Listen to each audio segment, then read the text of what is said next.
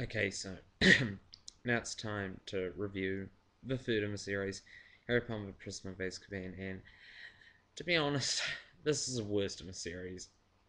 It this is a huge step down. It's I don't know what happened.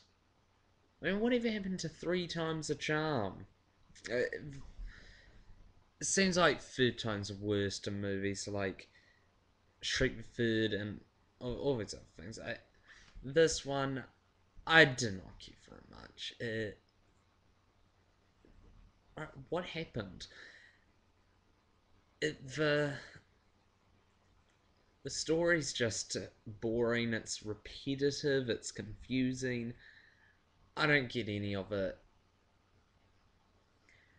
Uh, honestly, I, I because they swapped directors for this this one. This is where they start taking a turn. And like, what happened to Hogwarts Castle? It's now just different and weird. And I, I do not like the turn they went with this one. It was just so messed up. Uh, I don't really have anything to say, really. It's. It was so. Ugh. Like, I've I, just thought that it was a bad turn and yeah, it was. I just felt nothing happened. It was kind of irrelevant and it, it was just too much of a quick change.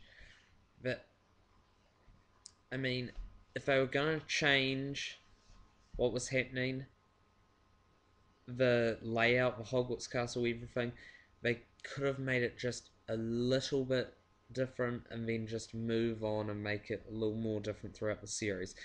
And this one, it's just I I have no idea what happened. It's it just went down, and that they had a new actor for Dumbledore as well, because this person died. But I just felt this was just a bad movie by itself, and just even the pacing and everything, it, it's just boring. It's hard to keep you interested.